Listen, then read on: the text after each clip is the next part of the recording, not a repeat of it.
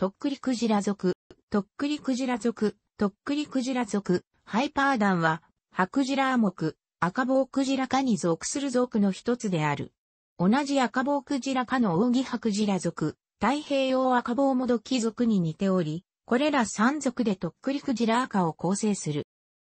とっくりクジラ族に属するのは、北とっくりクジラ、北とっくりクジラ、ハイパーダンアンピューレイトスと、南とっくりクジラ、南とっくりクジラ、ハイパーダンプラニフロンスの2種のクジラである。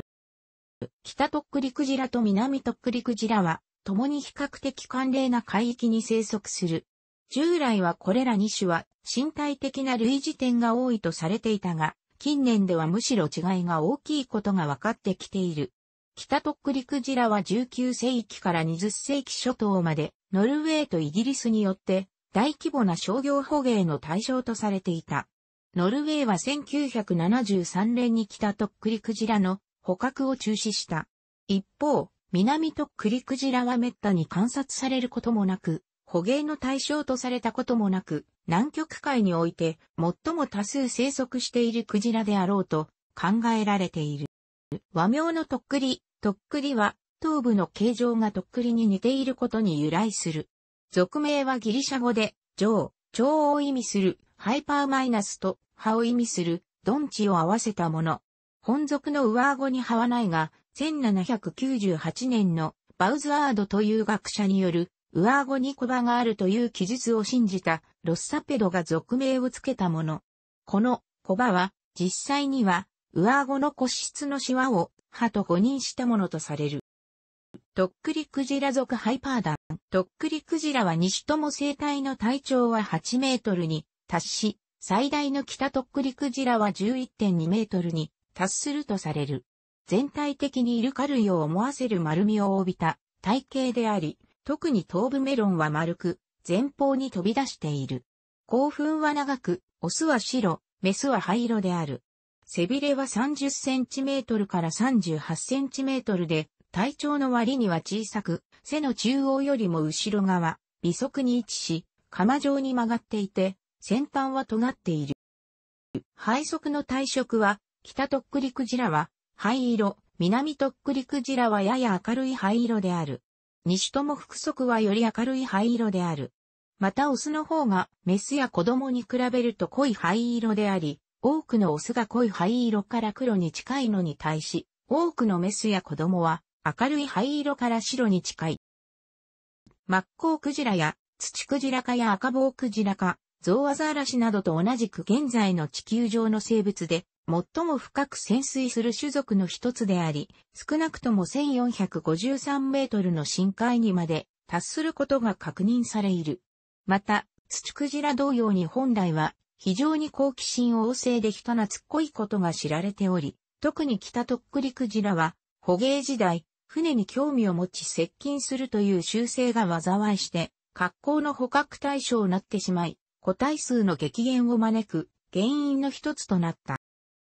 北とっくりクジラは北、大西洋に固有な種である。デイビス海峡、ラブラドール海、グリーンランド海、バレンツ海などの寒冷な北極圏の海域に生息する。水深の深い海域を好むとされる。カナダのノバスコシア州の東沖にあるザガリーと呼ばれる巨大な海底渓谷には130頭ほどが定住している。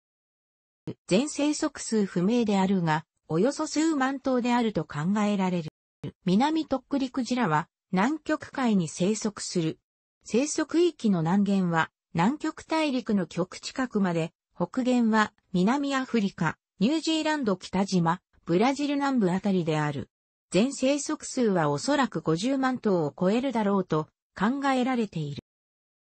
なお、南極海において最も多く生息しているであろうとされる南とっくりクジラであるが、南極オキアミを捕食する、イカ類を捕食することで、間接的にオキアミを消費しており、本種を含む南極海の赤棒クジラか、他に南土クジラが生息しているのクジラの消費量は、オキアミ換算で2400万トンであり、これは黒ミンククジラの1600万トンを上回り、ペンギン類の3300万トンに匹敵するとされる。本種が南極海の赤棒クジラかというより、南極海のクジラ全体で一番オキアミ資源を消費しているとされるが、厳密には不明である。熱帯や亜熱帯における目撃例も報告されているが、おそらく太平洋赤棒もどき、同じとっくりクジラ赤に属する珍しいクジラの間違いであろうと考えられる。他の赤棒クジラ類との関係はまだ明らかにされていない。南とっくりクジラについては特に懸念点はない。北とっくりクジラは商業捕鯨が盛んになる以前には大西洋に4万から5万頭が生息していたと推測されている。1850年から1973年までに8万8000頭が主にノルウェーとイギリスによって捕獲されたため、生息数はかなり減少したと考えられる。捕鯨は1973年に中止されたため、その点に関する懸念はなくなったが、ザガリー付近における石油や天然ガスの開発が新たな問題として浮上している。2006年1月20日、北とっくりクジラのメスが、ロンドン中央部のテムズ川で見つかった BBC ニュース。テムちゃんまで遡上した。橋家に乗せて、海まで運んで救出することが試みられたが、翌21日に死亡した BBC ニュース。楽しくご覧になりましたら、購読と良いです。クリックしてください。